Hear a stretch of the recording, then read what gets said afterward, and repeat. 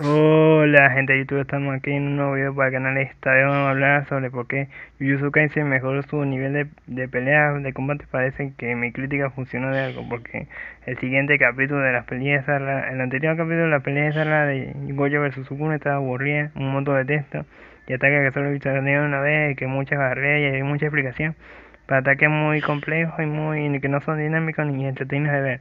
Y ahora son puros coñazos puros golpes, nada de tanto diálogo innecesario, de tanto texto y, y parece que hacían chistes de su propio montón de texto, así que Jujutsu debe estar mejorando.